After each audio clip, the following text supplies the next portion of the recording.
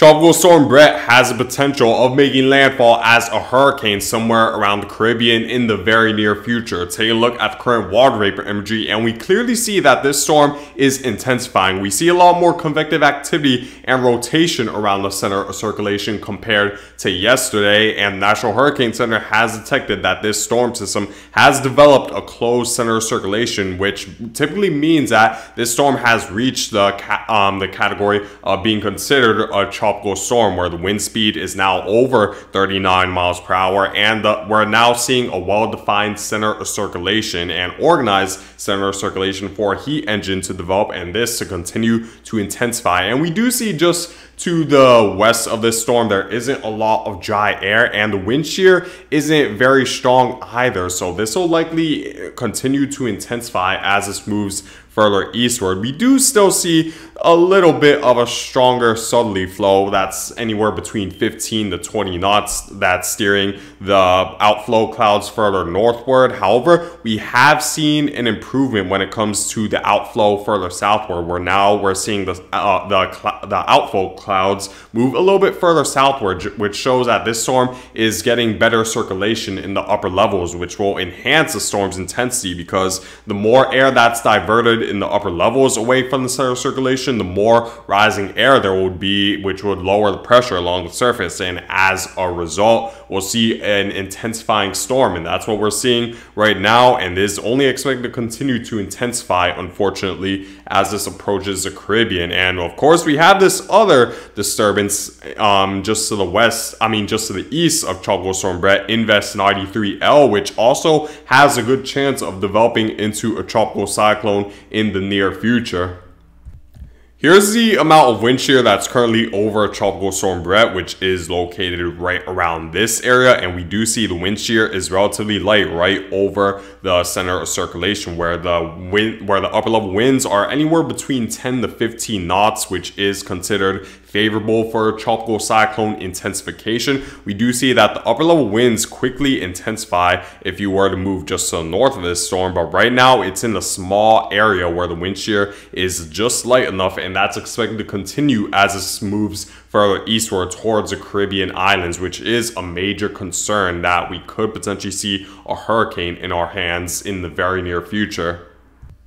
So we have seen a pretty significant shift when it comes to the exact trajectory of this storm, especially with the GFS model, because in prior GFS model runs, including the ones over the past several days, we um, the GFS model was leaning more towards steering the storm further northward and completely avoiding the Caribbean islands. But unfortunately, the GFS model has shifted its forecasts to the point where now it wants to bring this storm towards the Caribbean islands, which could bring direct impacts to um, let's the Leeward Islands or potentially Puerto Rico as well, and even the Dominican Republic could get involved with this storm if it were to um, maintain its strength this far to the west, which still has yet to be seen. Right now, the GFS model expects a decent amount of intensification, but not much. We do see that this mainly hovers around the 996 millibar range as this approaches the Caribbean. And the key thing that you'll probably notice with this storm as this moves further westward is that it's very asymmetrical. We're seeing all the moisture on the western side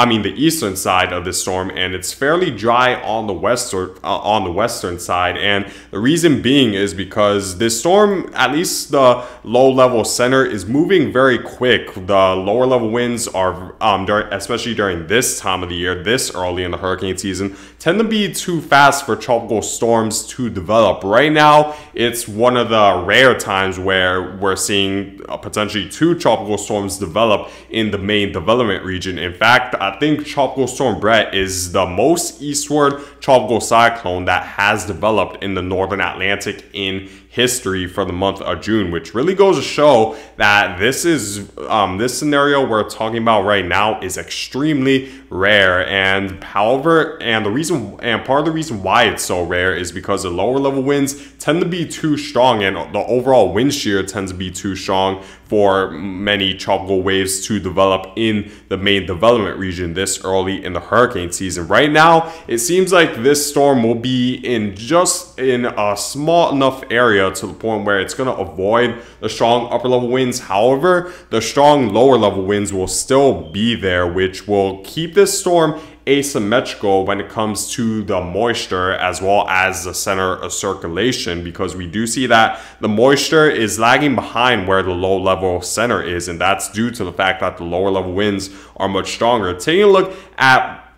um, the forecasted winds um, through um, through different levels of the atmosphere, including the upper level, uh, the upper levels of the atmosphere, we do see that the winds are stronger along the surface, quite a bit stronger, and we don't see. And while we don't see the wind direction, well, we do see the wind direction change a little bit as you move further um, into the upper levels, we don't really see the wind um, stay as strong, which means that the clouds, which are of course located in the upper levels, are moving slower than the low level center, where the low level center is being pushed by the strong lower level winds, which is the reason why the storm might be a little bit lopsided and asymmetrical as it approaches the Caribbean, which would weaken, um, which would put a limit on the intensification of this storm because, of course, a tropical cyclone needs to have the, um, the amount of energy consolidated over one area. If it's too spread out, like we're seeing right here, where the energy is where a lot of the energy in the upper levels are located a little bit further eastward while the lower level energy is located a bit further westward. It's a lot more difficult for all the energy to converge and create a, a, an efficient enough heat engine for the wind speed to increase, the convection to increase because the energy is going moving all over the place away from the center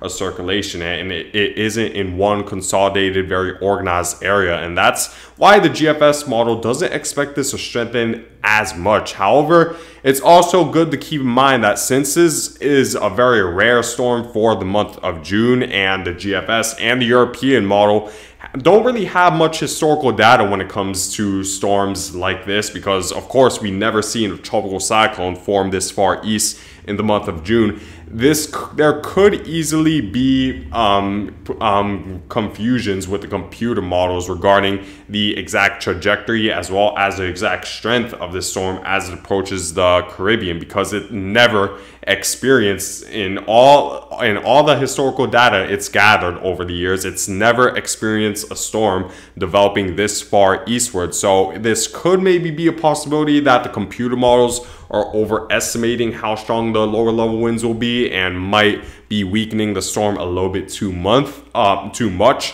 for the month of June, but we have to wait and see. I'll still lean, I'll still, of course, get more confidence in what computer models are stating, but since this is a once, almost a once in a lifetime type storm we're seeing developing this far east, there could definitely be some confusions with the computer models or mistakes regarding a storm like this more than what you typically see with a regular storm. So we're going to need to see if the computer models are correct in this scenario. It would make sense if it were correct because we, of course, do see stronger wind shear and stronger lower level winds in the month of June, which would weaken the storm. But we just have to wait and see. Right now, the GFS model still expects a tropical storm to move through the Leeward Islands as well as Puerto Rico and the Dominican Republic. So you still need to pay close attention to this, but it seems like the National Hurricane Center is leaning a little bit further from what the GFS and the European model are stating when it comes to a storm like this due to the fact that it's um, outside of the faster lower level winds there isn't much that's expected to slow this storm down. We see that the moisture there's just enough moisture and not enough dry air entraining the storm to the point where it'll ha- it'll have a major effect when it comes to weakening the storm. There's a little bit of dry air but it won't be a ton. And if we were to take a look at the upper level winds which i'll show you right now we see that the upper level winds are expected to maintain fairly light as this moves further eastward, which makes me believe that we're going to see a storm that's stronger than what the GFS and the European model are stating due to the fact that the upper level winds are weak, there isn't a lot of dry air. The only inhibiting factor would be the fact that the lower level winds are a bit faster, which will keep the lower level, the low pressure system a little bit further westward than the moisture, which could create a little bit um, of um, which could like pretty much separate a lot of the energy away from the center circulation, which could potentially weaken it. But outside of that, the conditions don't seem that um, don't seem that unfavorable as this moves further eastward. So that could be concerning because that could mean that it'll strengthen a lot more than what the computer models are stating. But let me show you guys a European model right now. We clearly see that the European model isn't expecting much wind shear either, which is definitely a major concern. If we were to take a look at what the European model is forecasting, we do see that the European model is expecting a fairly similar um, track with this storm. We do see that it's moving towards the south. The wind shear is fairly light. And we do see that Invest 93L in the European model scenario is expected to develop into a tropical storm, which is also very rare for the month of June. But we do see that the European model expects us to eventually dissipate by the time this approaches the Caribbean. And the reason why is clearly due to the fact that the European model also expects the lower level winds to be a little bit too strong to the point where the low pressure system will move away from a lot of the moisture and convective activity for this to develop a well organized and well consolidated center of circulation where all the energy is focused around the low pressure system. But we do see with the lower with the lower level winds too fast, the low pressure system moves a little bit too fast for the moisture. So the energy is diverted and is a little bit more elongated, which would weaken the storm. And that's why the European model expects this to dissipate. But again, the European model has a bigger bias when it comes to dissipating storms, especially this early in the hurricane season. And again, it's never experienced a storm this developing this far to the east. So there certainly could be mistakes when it comes to forecasting this um, storm from the two most reliable computer models. But it is expected that it should move in this general area thanks to the steering flows that's pretty certain. The strength is definitely a little bit more uncertain, but it is expected that the lower level flow will be a little bit too fast for this to become a very powerful storm.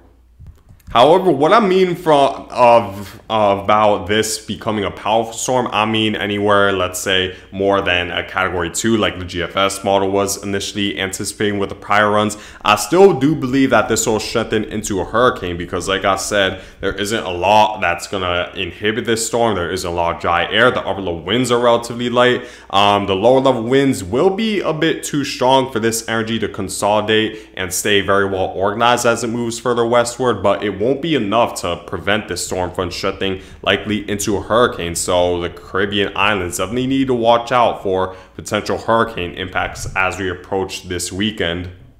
So in the prior GFS model runs, it was expected that Tropical Storm Bret would move further northward and miss out on the Caribbean, but it seems like the GFS model has detected that there's going to be a, ridge, a stronger ridge than they initially anticipated right just to the northwest of this storm that will keep it from being deterred from this trough as this trough isn't um, digging down deep enough to, to divert the lower level winds from more of a southerly direction to steer this out to sea. So unfortunately, the Caribbean is likely to get impacted as it seems like all the computer models have have reached a good level of certainty that there's going to be a strong ridge just to the northwest of this storm, which will bring Tropical Storm Bret or potentially Hurricane Bret towards the Caribbean, which would definitely be a major concern. And we, um, however, for Invest 93L, there is a more likely shot this will move out to sea since this trough you see right here is expected to dip down and weaken this ridge um, as it approaches as it moves further eastward and weaken it enough to a point where this trough could pull this storm out to sea rather than moving towards the Caribbean, which would certainly be good news. And I'll say it's the most likely scenario for Invest 93L that this trough will dig down south enough to the point where it'll steer this storm out to sea. And we clearly see the same thing with the European model where this ridge is a little bit too strong for this to move further northward and for this trough to dig in. However, it's more likely that Invest 93L will move further northward thanks to this trough, expecting to erode this ridge um, by the time this approaches the Caribbean to a point where it could pick it up and move it out to sea. Here are what the current ensemble members are stating, and many of them are agreeing that this should move um, just south of Puerto Rico and potentially the Dominican Republic. But some computer models are expecting it to eventually turn to northward because, like I said, the ridge that's expected to be the main steering flow of this storm system is expected to erode once a trough located in the extreme northern portion of the Atlantic is expected to erode this trough. So it could allow for an area where this storm would be able to move further northward, which would certainly not be very good news for Puerto Rico and the Dominican Republic and Haiti, since you guys, it will be more likely you'll get directly impacted if this ridge were to erode and this trough were expected to steer this um steer this storm further northward. We're just gonna have to wait and see how much exactly the ridge will erode the trough to determine when it'll make that turn further northward.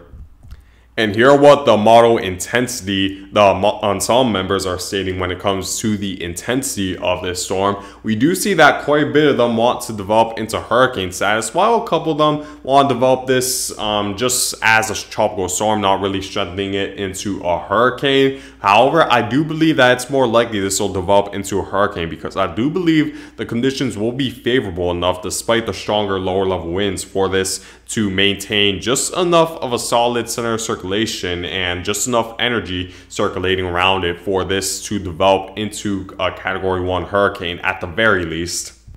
Let me show you guys the 500 millibar um, geopotential height anomaly forecast once more from the European model to really show you guys what will determine the track of these next two storm systems. So, like I said, this ridge will be the main steering flow, and this low pressure system is expecting to move westward along with this ridge. However, how deep this trough digs in um, towards this ridge and how much this trough right here um, um, erodes this ridge will be key in determining when it'll take that turn for northward. We do see that by the time Invest 93L, or what will likely become Tropical Storm Cindy, moves further eastward, this ridge will completely erode and move further westward, which will mean that this trough will move southward, dig in just enough for this storm to have an open lane to move further northward. It won't happen with Tropical Storm Bret most likely since this ridge is pretty much um, taking over much of the northern Atlantic for this to have a chance to move further northward. But when this um, ridge erodes will be definitely key in